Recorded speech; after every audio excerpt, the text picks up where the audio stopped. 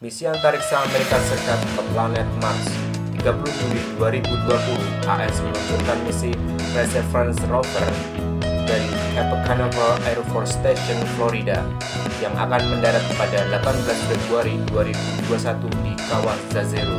Misi yang membawa rover ini dalam menjalankan program pengeboran tanah yang dapat dibawa kembali ke bumi dengan durasi misi 687 hari.